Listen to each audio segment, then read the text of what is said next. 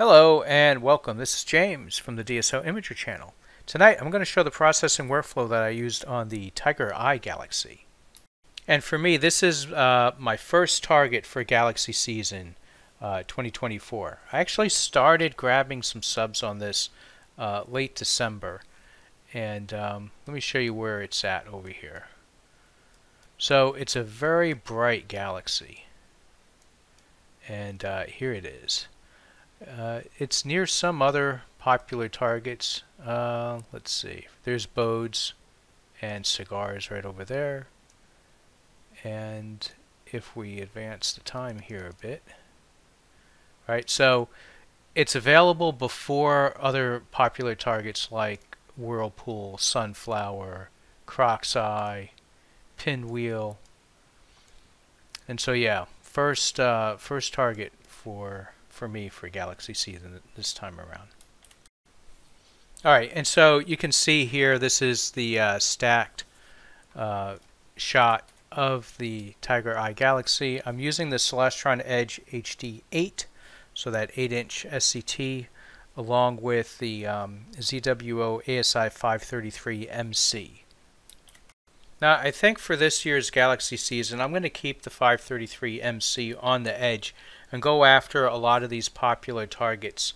Uh, I've been doing astrophotography for more than a few years, and surprisingly, I haven't grabbed a lot of these uh, common targets. I did hit Whirlpool years ago, and of course M81 and M82 I've taken pictures of, uh, but all the other targets out in that kind of area I've not really imaged, especially with the 8-inch edge. So I've never shot Tiger Eye before. Uh, I think the next one I'm going after is the Sunflower. A lot of those galaxies don't have a whole lot of HA, and so I think going with the one-shot color and the edge is just going to be a nice, uh, easy way to hit a bunch of those targets this year. So here we go, 17 hours on Tiger Eye. And let's go through the history that I used. So right off the bat, I did a mild crop. That was just to take care of the stacking artifacts along the edges. Um, and then it looks like I did a... Oh, I think I just renamed it. uh, to get rid of the ridiculously long names that uh, uh, gives us. Then I rotated. Uh, this orientation just was more pleasing for me to look at while processing. Alright, this I want to say is BlurXTerminator correct only. Let's see. Yep. So what the correct only does is it only corrects the star shapes uh, yeah, you can see in this corner in particular the stars are elongated. I've got a tiny bit of tilt in this system and StarXTerminator clean, excuse me, BlurXTerminator cleans that up really well.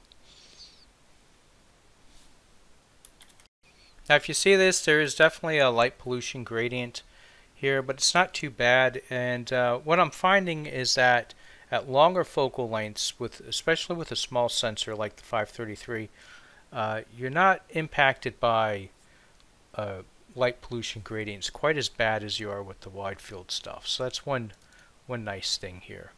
Uh, but I went ahead and ran dynamic background extraction and that's what you're seeing here. So now we have a nice even background. And I believe next was BlurXTerminator again, maybe. Yeah, oh no, no, uh, color correction was next. So that's what you're seeing here is a preview to get the uh, background sample. And there, that's with the color correction applied. Now this doesn't look right, but that's because I'm using uh, a, a, a, linked auto stretch. So let's go to, um, let's refresh that, and there we go. So that's looking pretty good. Now I should say in regards to color, I was getting a little nervous while processing this uh, Galaxy because there wasn't a whole lot of color to pull out and I was getting concerned that maybe I was doing something wrong. But a little bit of research in this galaxy uh, really gave the answer. So there's there's almost no star formation taking place here. What I read is that there were a bunch of blue stars uh, earlier on this galaxy's um, lifespan that basically blew away, dispersed all of the uh, uh, all of the gas that you normally would use to produce new stars. So that's why you're not seeing uh, a lot of HA regions in here. And so most of this, and the blue stars, of course, don't last as long. They burn out relatively quickly uh, as far as star lifespans go. So the galaxy is full of mostly older stars, and uh, yeah, you're not going to get a whole lot of color. We're just seeing the color of these older stars. And um, so that would explain the lack of color. Alright, next I believe should be BlurXTerminator. Yep, there it is. BlurXTerminator by RC Astro is just amazing. Uh, for those that are not familiar, it's basically AI trained deconvolution. So instead of having to run deconvolution manually and using a whole ton of trial and error to try to get a good balance with the stars and the details in your galaxies, BlurXTerminator is basically doing it in one click. And just a little shameless plug for myself. I do have an affiliate link for all the RC Astro software, including BlurXTerminator.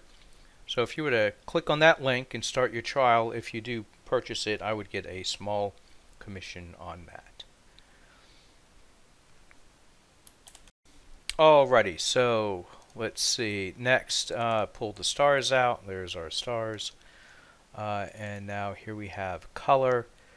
And yeah, I just renamed that. So what I decided to do is process this galaxy. I think this might be, at least for the next little while until I figure out a better way to do it, uh, is to process these galaxy shots with this uh, one-shot color camera by separating the luminance from the color and then almost treating it like mono. What I find is that if I just proceed with the color image, you start to get like some color artifacts and some uh, a kind of a mottled look, moded look, and um, running it running it separately with the luminance uh, just seems to give me better results. So let's see. Yeah, so there's there's the luminance right there. And let's see. I think this is the one that I did the work on.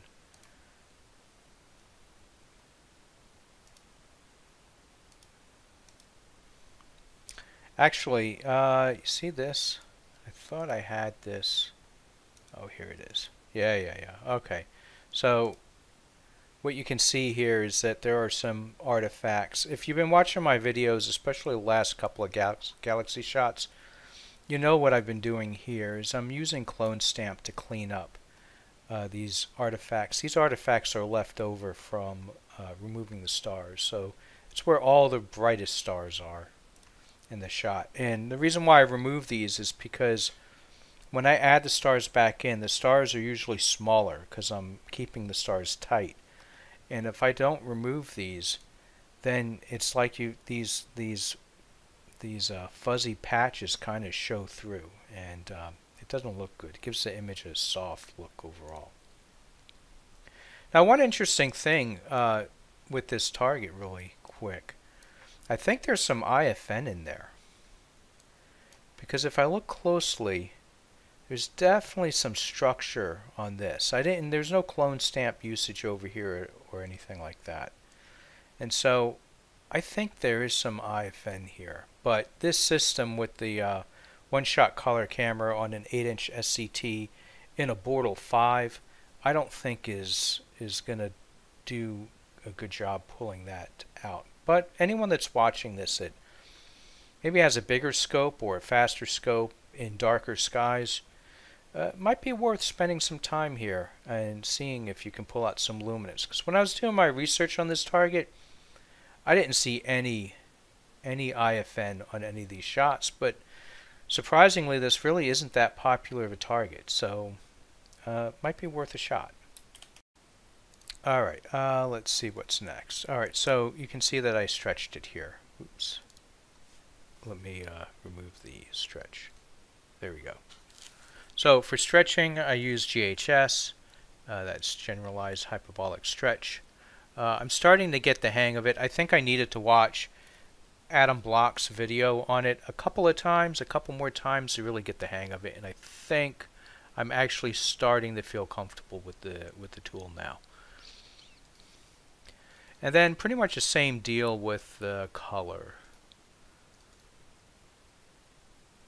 Let's see. Okay, so what you have here, this is after doing the stretch on the color data, which it actually doesn't look too bad here.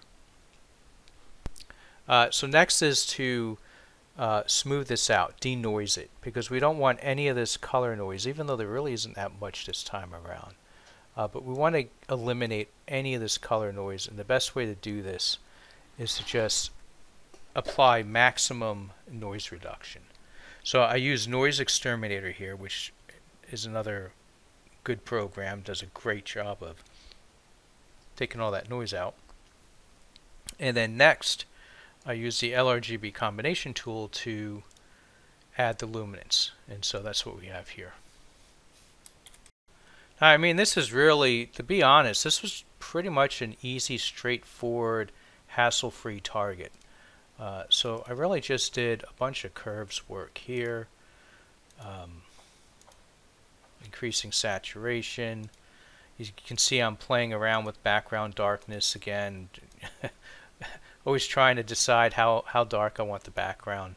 Um, I tend to like some some background signal. I don't want it to be, uh, you know, look like it's clipped the the background. But it seems like the really super contrasty images are the are the popular ones. So, you know, trying to find a balance there. All right, so from here I did take it into Photoshop and uh, and then some more curves work I guess a little bit here but mostly in Photoshop I'm using the camera raw filter and the uh, hue saturation tool. And this is pretty much where I ended up. This blue spot here that is uh, artifact from a star. And I didn't want to mess around with clone stamp. Uh, this was just too close to the galaxy to do anything about it. But uh, other than that, I think the galaxy is looking pretty decent here. Uh, so then it was playing with the stars. I did a couple of different things with the stars. Like I thought this was pretty good, uh, but you can still see a strong halo around this one. Uh, so I decided to work on the halo a little bit. That's right here. Still got the halo. Uh, and I think I want to pull a little bit more of the background stars out and this here is the final image. You can see the halo around that bright star is still there but it's it's uh, de-emphasized quite a bit now and it doesn't it doesn't take away from the galaxy at all. There's that nasty star there. Got a really cool looking galaxy down here. Wonder how far away this galaxy is. Anyone know what galaxy this is? Uh, if I had to guess, I would say this is two to four hundred million light years away. Just, just eyeballing it, knowing how far these galaxies that look about this size are typically in my pictures. All right, so quick and easy. Tiger's uh, Tiger Eye Galaxy. Um, drop a comment in the uh, comment section down there and let me know if you've shot this target before or if it's after seeing this video if it's one that maybe you'll put on your list. Uh, don't forget to hit the thumbs up button and subscribe if you're not already subscribed. And uh, everyone have a good evening. Clear skies.